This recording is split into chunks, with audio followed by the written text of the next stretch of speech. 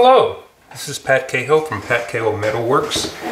Welcome back. So today I thought I'd make a sword ring.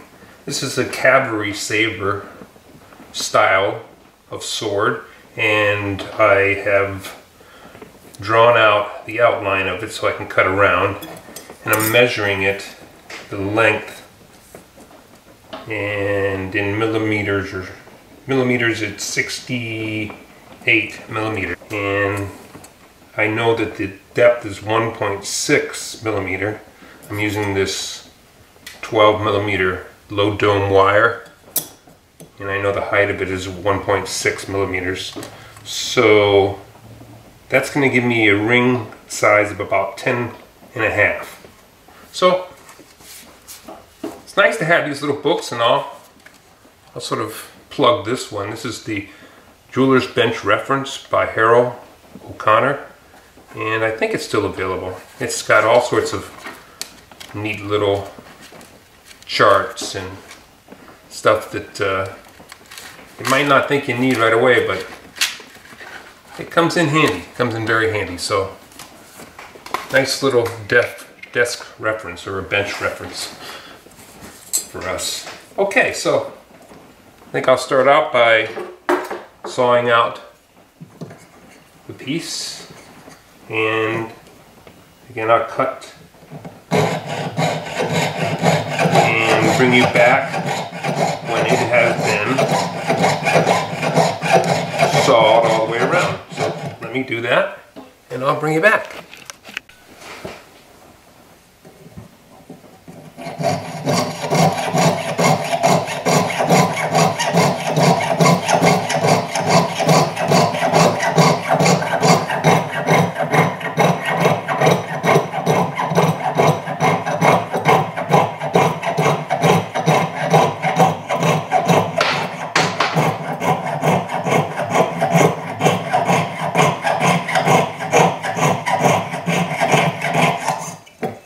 Okay, that's finished.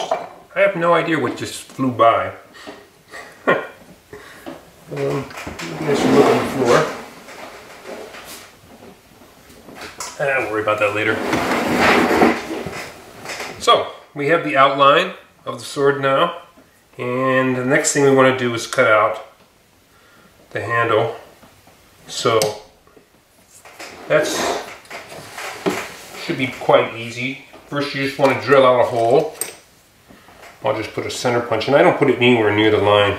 Some people like to uh, drill right near the line and use that. Um, I don't myself like to do that.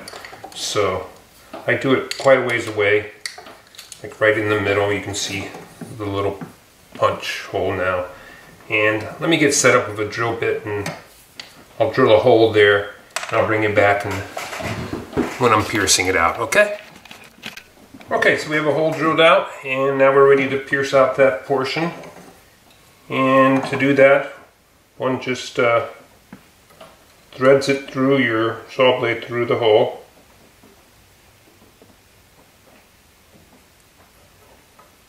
Put it up to the top so it's not stressing on the saw blade at all. The saw blade back in the holder. Push it up against your breastplate to get it in there good.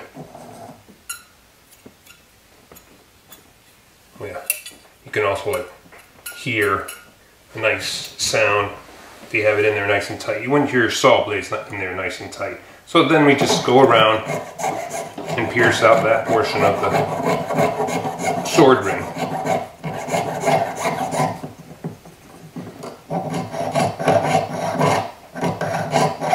And I'm slowly getting close to the edge where I want to be. I'm not going straight in there. Just there we're at it now. And if you need to see, you need to see really well the edge, which I don't really. You can use a brush and it just clears off that those bits of silver.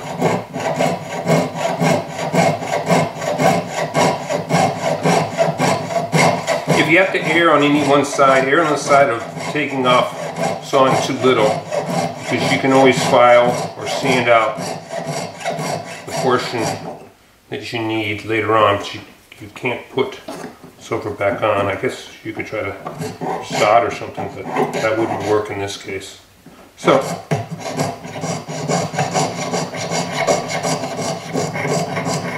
it sounds like I'm speeding up to go around the corner, really what I'm doing is just a lot less tension, a lot less pressure on, on the sword, that sword, the, the saw, so I can slowly turn the blade and follow the outline of the portion I want to pierce out.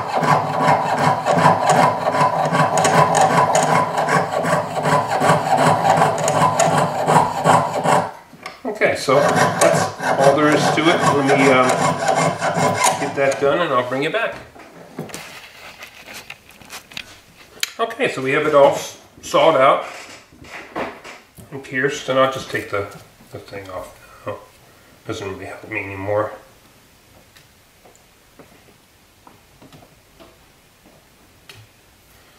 There it is, and now we want to do is take care of our edges. So we want to file and sand them nice and smooth. And then we're worried about, then we start to worry about the, uh, the blade side. But I'm gonna get all those file marks out.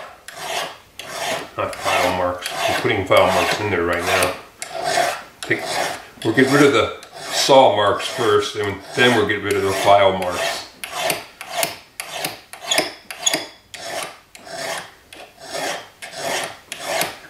Okay, that looks good.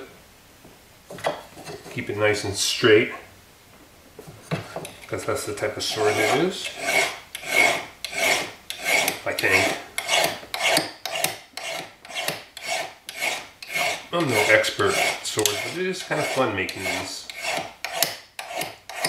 More than just a little fun, it is, it's very fun. I like doing it. Get a little bigger, bigger file here. You actually should use the biggest file that you can comfortably use at all times. Okay, so that side looks good. And let's work on the, the blade side. As with my last video, I guess my last video was the uh, the pendant was going to be a, a tie bar, but it was turned out to be a, a pendant, and it was a Chinese war sword or Dadao um, sword. This is also a one-bladed sword. It doesn't have an edge on both sides, but only one side.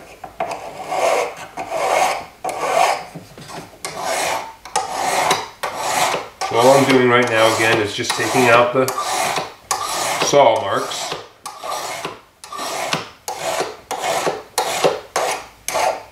Smoothing it, keeping it nice and flat. So let me finish that all the way around and I'll bring you back.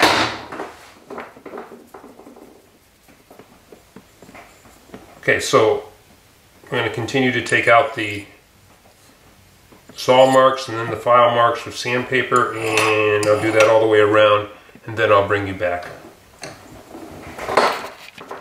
Okay, so we're almost done with the sanding. Last little part I always try to get inside every little nook and cranny and make sure that it's nicely all smooth surface. Again, I'm using these fabric sanding strips and they're really really good because they allow you to get into all these places that you would never be able to access normally.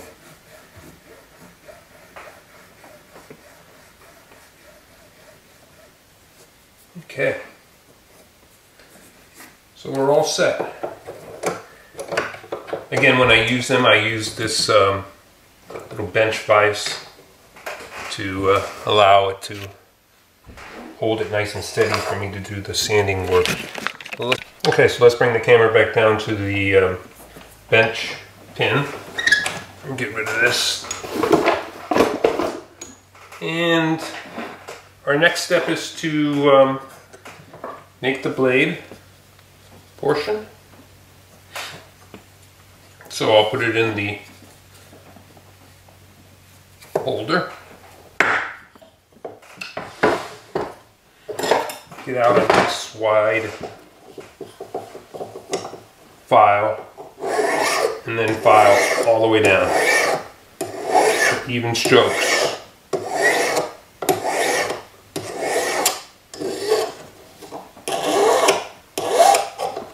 Using your bench pin as a, a surface that you can hold it up against, can get a good filing on that. The only thing again to watch out here is that your the start of your blade is even all the way across. So you can see that's the start of it now. And continue this off camera. And bring you back when it's done.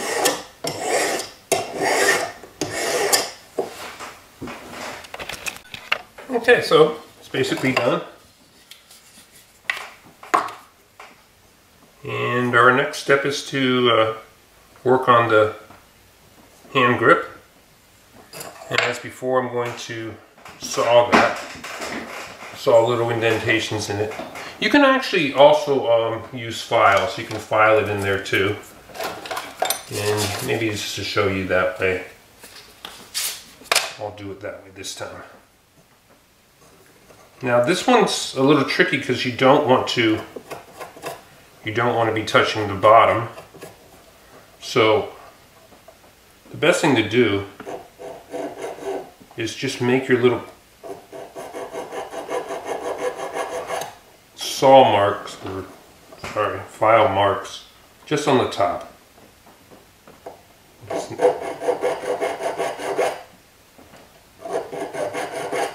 Here I'm using a, a square saw. Here I'm using a square file. And again trying to make them even. And again slightly at an angle typically when you see the wraps they're not going straight across they're wrapping upward to the end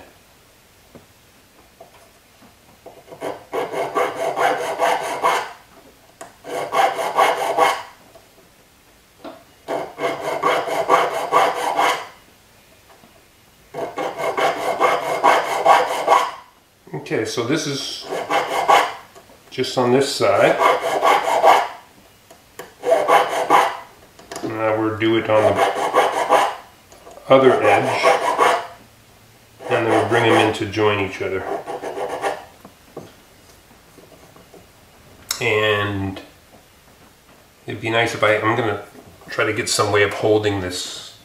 This is, it's kind of difficult Maybe if I was left-handed I could do it. Uh, but let me bring you back when I got that set up.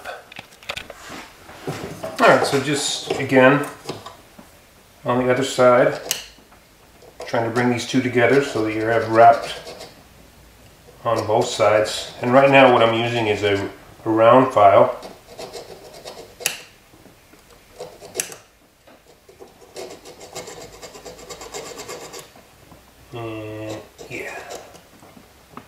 good. Let me just finish this up. It's a little awkward. Awkward. Just there's no real great way of placing this and again I'm being very careful not to touch this portion of the the handle. So Okay, so we're back. That's done. I cleaned it up a bit. So that's that. That's basically our sword. You can do a lot more, put a lot more detail into it. You can put a fuller going down the, the top portion of the sword itself. you could add something, but let's keep it simple. So what we next, what we need to do next is actually solder the two ends. And you don't really need to make it round, but I'll start out with rounding it a bit. Because we're gonna we're gonna bang it round when we get to the end. And yeah, I know you can't see this, but I'm just putting it on a ring mandrel, sort of bringing it around. And so what we want is our ends to sit nice and tight against each other. So just bring that down, making our D shape, getting ready to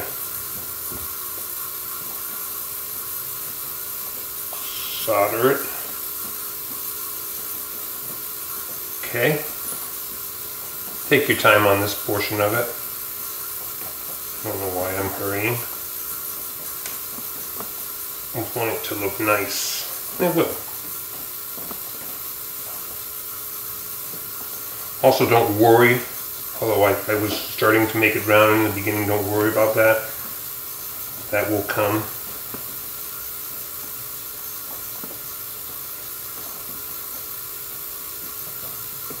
that looks good.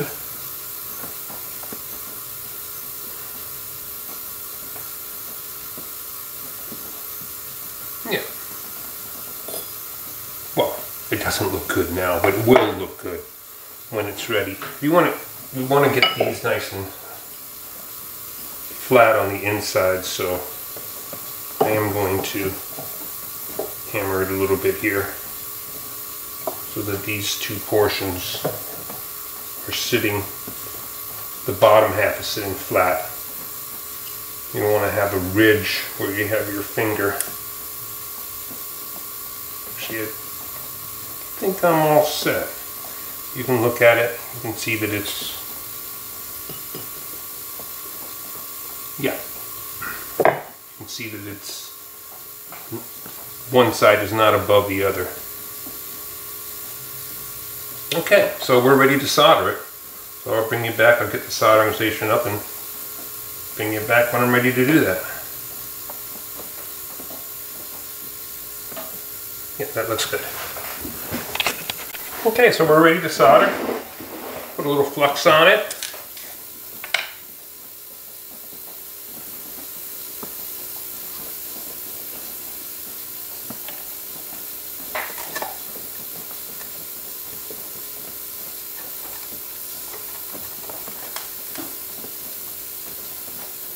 I have it in this little magnesium block just so I can squish it in there and make it sit nice and tight.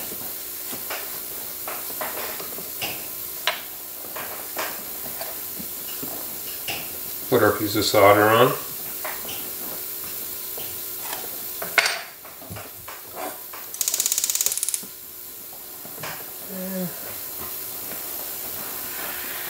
Heat it up slowly, the whole thing.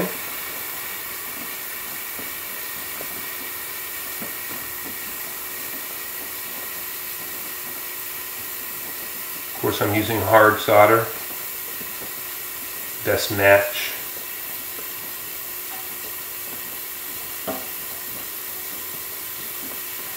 And there we go. And if we have any blobs, we can clean them up later. Okay, so let's put that in the quench and then the pickle and I'll be back.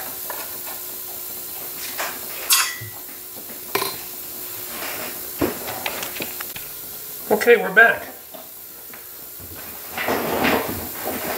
So, next thing to do is to round it out and use a soft hammer. So I'm going to get my rawhide.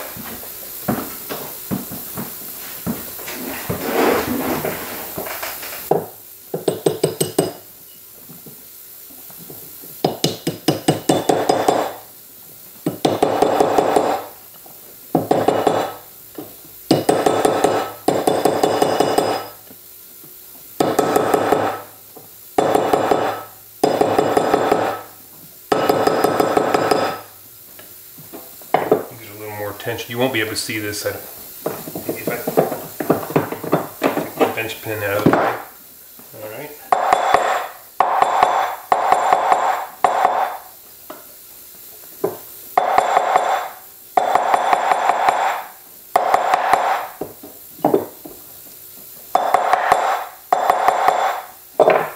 Right, there you have it. Nice ring. Kind of fits me. I can see there's a solder blob here, and I will take care of that. So, best way to do that is get it on a nice firm surface. And take your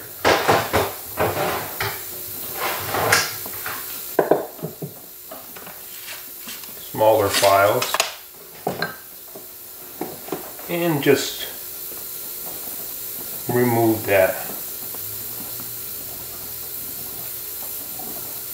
Carefully remove that without trying to remove any any other part of the surface. We're going to polish this next so.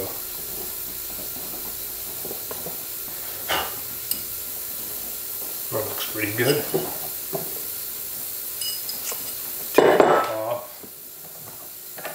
get down here.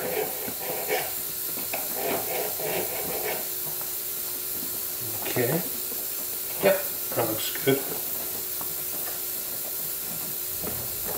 You don't want a nasty solder blob. Okay. So next we want to put it on ring polish and spindle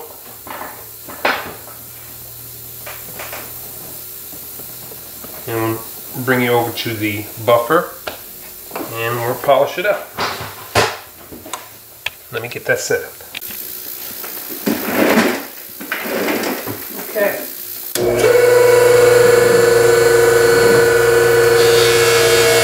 Little compound on there.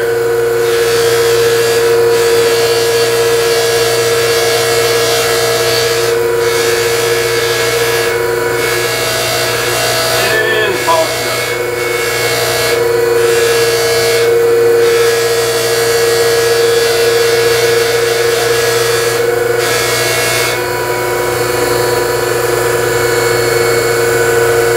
I'll do the sides.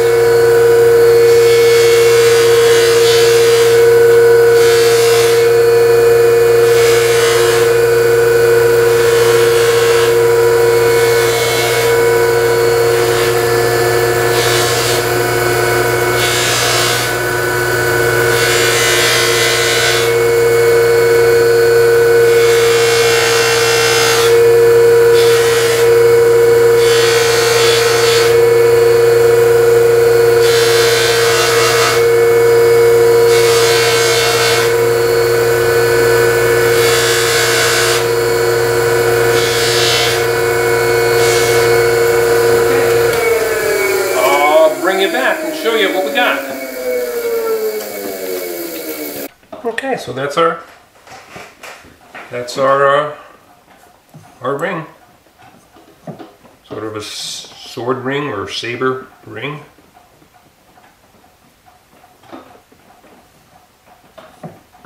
Where it comes in. Again, it's hard to show all the good angles, but it's pretty cool. I mean, they make a pretty nice ring. Not too bad, not too bad, not too hard to make. And as I said before, you can put a lot more detail into this. And this can be worn anywhere. Actually, might be a really nice thumb ring, but I'd have to be quite a bit bigger for my thumb.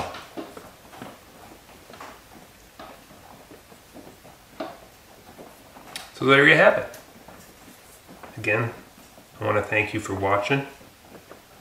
And I'll hope to see you again soon. Bye.